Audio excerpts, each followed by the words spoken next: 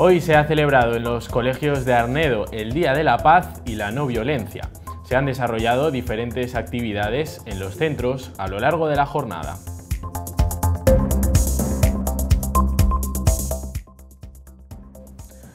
El diputado autonómico del Partido Popular de La Rioja, Carlos Cuevas, y el portavoz de los populares en Arnedo, Antonio Guizábal, presentaron ayer sus enmiendas a los presupuestos de la Comunidad Autónoma de La Rioja, unas enmiendas que hoy ha rechazado el equipo de gobierno regional. El divulgador Eduardo Sáenz de Cabezón impartió ayer en la Casa de Cultura una charla con el título El espejismo de la mayoría. Así comenzó el ciclo de conferencias Febrero es Pública. Esta noche se proyecta en el Cineclub Municipal la película La Verdad, una película francesa que inauguró la sección oficial del pasado Festival de Venecia.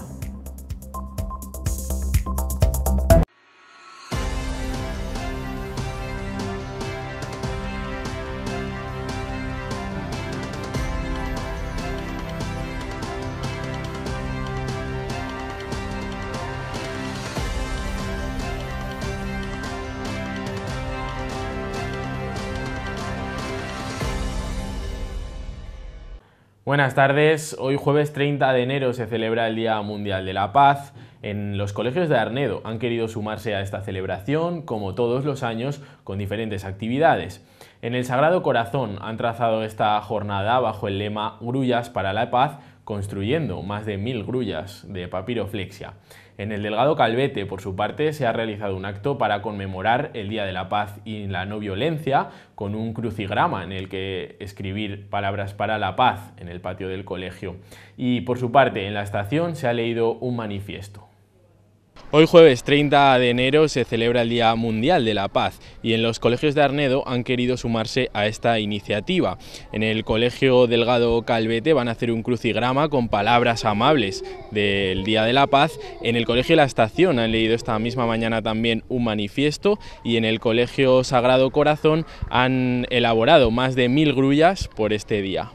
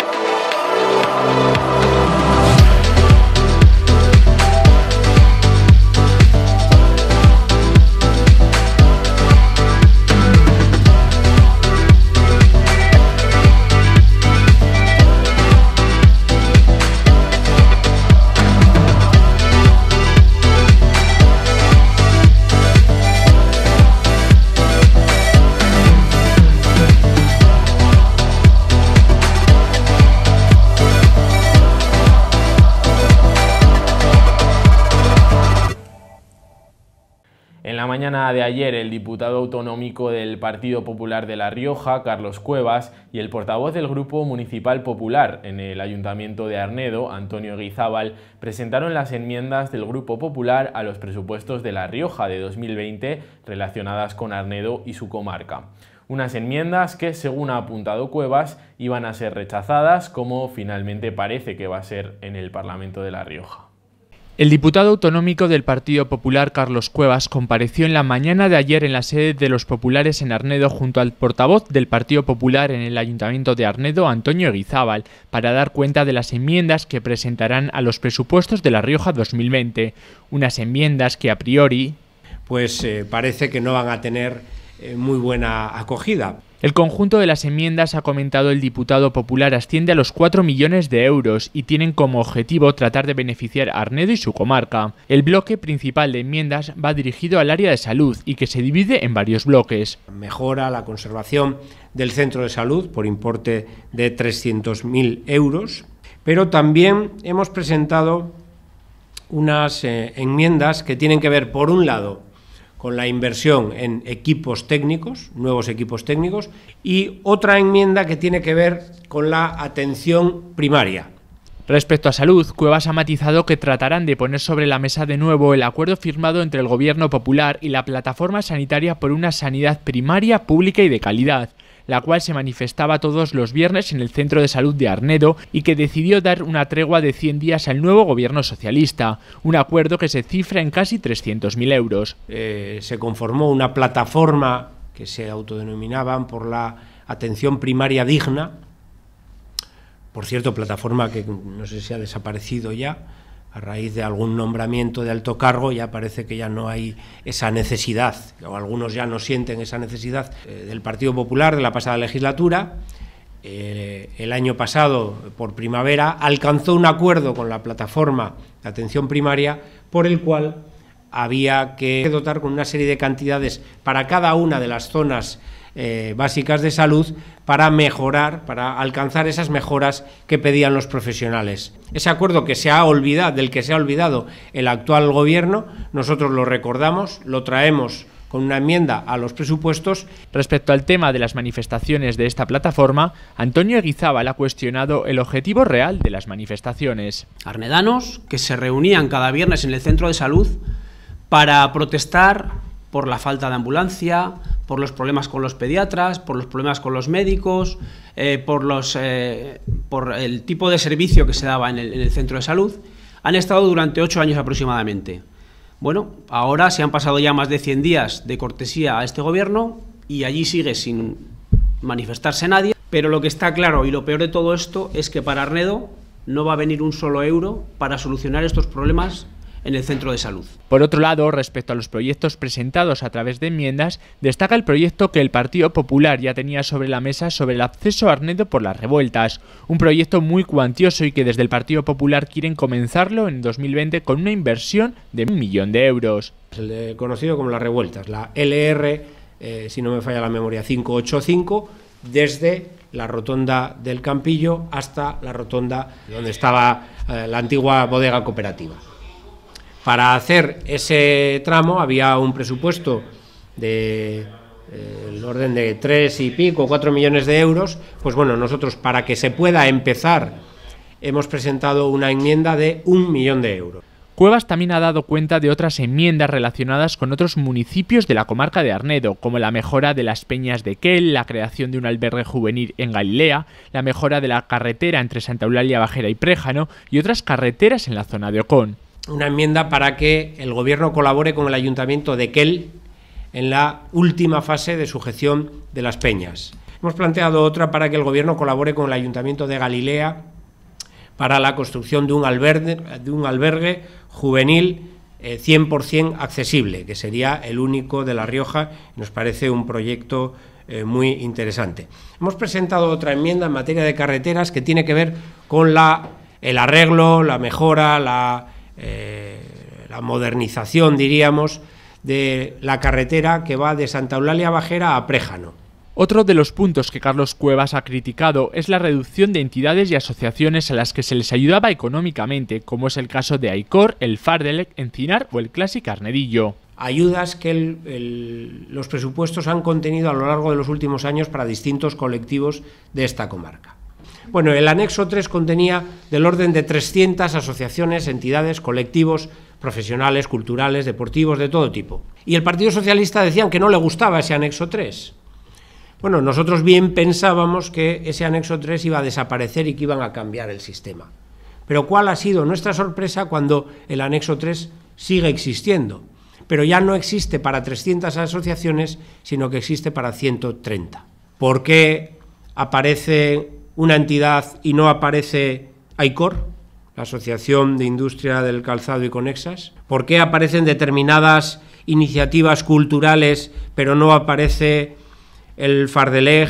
El portavoz popular en Arnedo, Antonio Guizábal, ha criticado la falta de actividad por parte del Ejecutivo de la ciudad del Calzado, como consecuencia, según Guizábal, de una falta de ambición. La conclusión es que Arnedo y la comarca de Arnedo pierde y pierde mucho con un gobierno del Partido Socialista en Arnedo y con un gobierno del Partido Socialista en la comunidad autónoma. Resulta curioso la falta de ambición de nuestro alcalde cuando hace cuatro años en esa reunión hizo 33 peticiones al anterior presidente de La Rioja y en la primera reunión oficial que mantiene con la actual presidenta Concepción Andreu se conforma con que le diga que se van a invertir 900.000, ahora dice Carlos que son 850.000 euros lo que va en presupuesto para el polígono Resano. Respecto a la subida de impuestos, Seguizabal ha calificado como sangrante la subida del canon de saneamiento, que conllevará una subida en la factura del agua.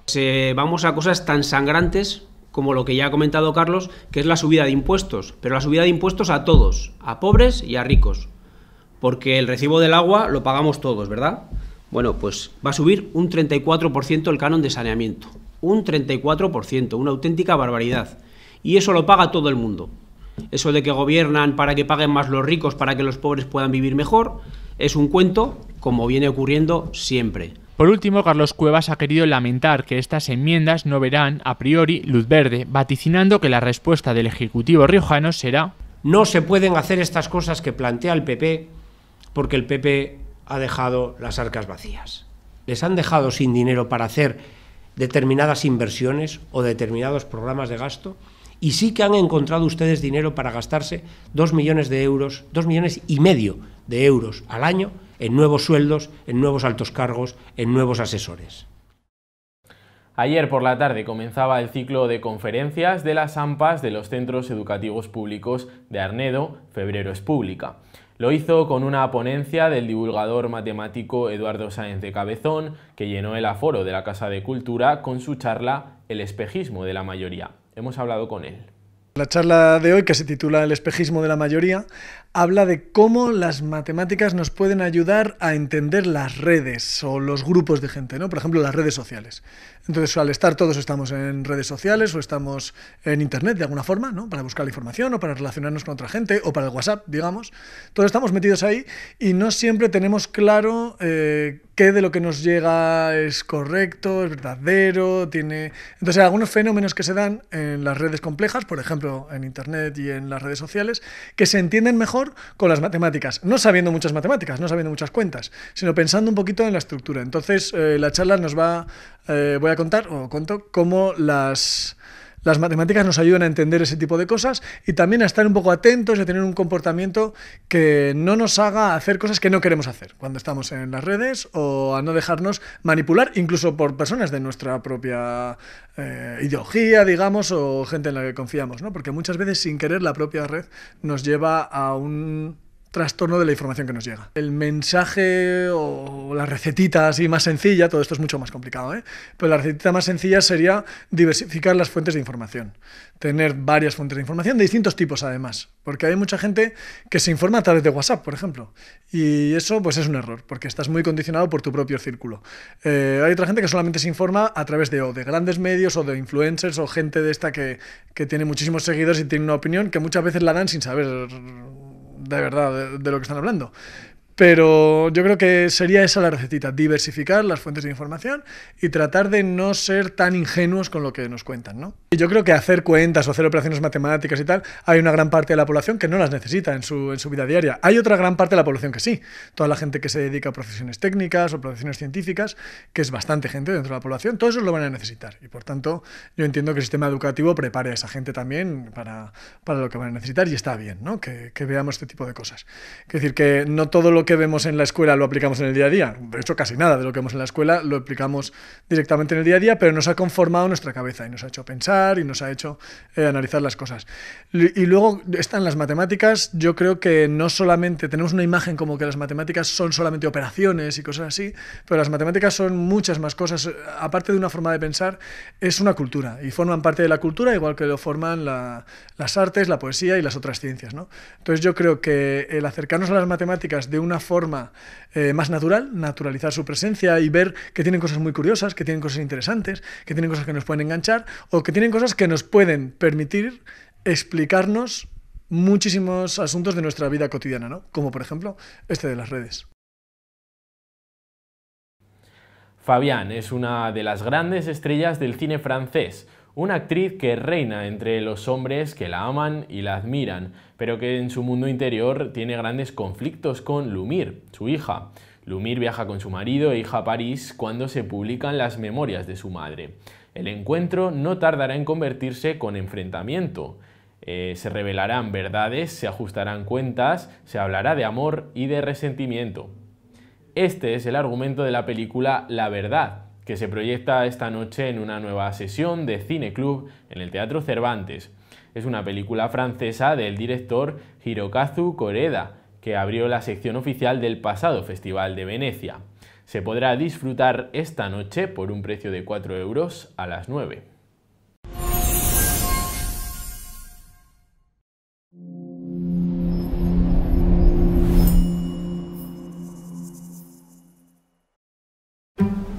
¿Qué actriz le ha transmitido con más fuerza su ADN? En Francia no se me ocurre nadie. ¿Tiene visita? Entonces mejor me marcho. No, no importa. Es mi hija con su familia. Ah, se casó con ese actor, ¿no? Oh, actor es mucho decir. Bienvenido. Vienen a felicitarme por mi libro. Hablan de una tirada de 100.000 ejemplares. ¿100.000? ¿100.000 ejemplares? 50.000, no 100.000. Mira que eres vanidosa. ¿Qué es esto, mamá? Esperar a mi hija frente a la entrada de su colegio me llenaba de alegría. Eso no pasó ni una sola vez. ¡Qué pesada! ¿Cómo avanza el rodaje? No se sabe los diálogos. Es culpa tuya, se lo has consentido todo durante 40 años. ¿Cómo que te marchas? Un poco repentino, ¿no? ¿Por qué lo haces? No saldrá adelante sin ti. ¿Yo? ¿Mm? Ah, no. ¿Formáis un buen equipo? Oh, no, de eso nada. Mamá, van a empezar ya. No me llames mamá aquí. ¿Y cómo te llamo? Antes no era así. Yo siempre la he conocido así. Deberías cuidar más de la gente que te rodea. Prefiero haber sido mala madre y mala amiga, pero buena actriz. Querías enseñarle nuestra familia feliz, pero no le darás celos con eso. ¿Qué voy a hacer con Luke? ¿Empieza por disculparte? Jamás le he pedido disculpas a un hombre. Los engañaste a todos y no pediste perdón a ninguno.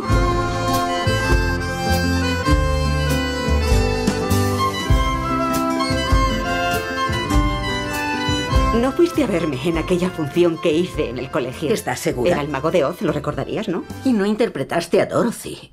¿El espantapájaros? En Arnit cumplimos 20 años de constante evolución. 400.000 muebles nos avalan. Estrenamos una imagen renovada, adaptada a una sociedad cambiante. Fabricamos cocinas, baños y armarios. Con Arnit cada posibilidad se convierte en idea y cada idea en un proyecto de decoración. Una nueva dimensión en cocinas.